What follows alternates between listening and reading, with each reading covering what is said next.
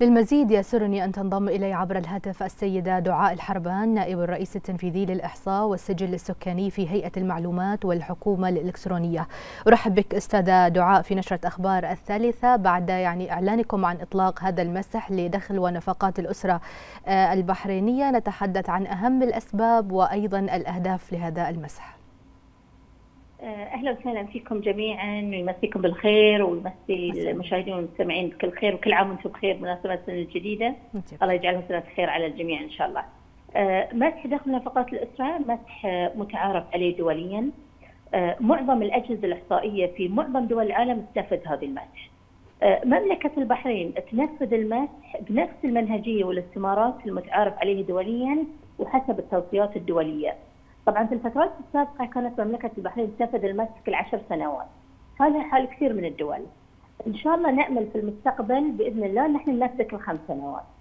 المسح لن يشمل جميع الاسر في البحرين. لكن تم اختيار عينة عشوائية تقارب ال 6000 أسرة مواطنه وغير مواطنه من الأسر المقيمة في المملكة واللي تم طبعا اختيارها بشكل عشوائي وفق منهجية علمية مدروسة. العينة بتتوزع طول السنة كل شهر بيكون هناك في مجموعة مختلفة من الاسر وكل اسره سيتم النزول عليها خلال شهر واحد فقط يعني الباحث بيزورها خلال تقريبا أربع زيارات في الشهر. المسح يتكون من ثلاث استمارات، الاستمارة الأولى بتكون إلكترونية وأثناء زيارة الباحث للاسره بتتكلم عن خصائص المسكن ومعلومات عن أفراد الاسره اللي ساكنين في نفس العنوان.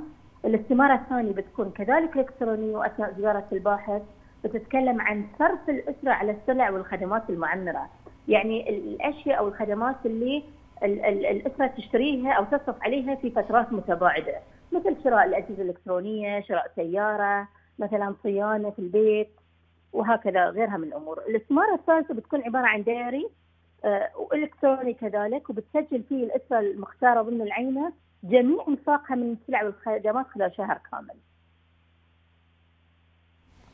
نعم. نعم الأستاذة دعاء الحربان نائب الرئيس التنفيذي للإحصاء والسجل السكاني في هيئة المعلومات والحكومة الإلكترونية كل الشكر والتقدير لك.